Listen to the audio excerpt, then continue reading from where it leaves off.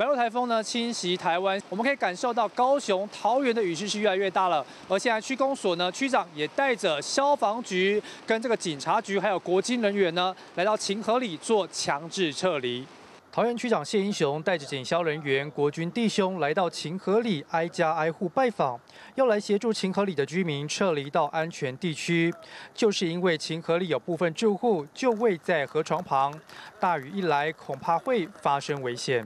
亲爱的里民，我们先行跟你们做切结书，这个责任啊，请我们的里民一定要啊非常要重视啊，这个关系到我们。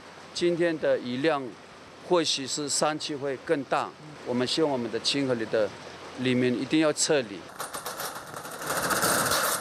由于降雨还没有传出严重灾情，有不少民众选择先待在家中，等待雨势增强再离开。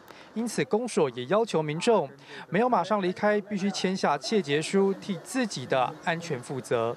如果越来越大要离开，因为我们有的人还没有来啊，要等他们来再一起走。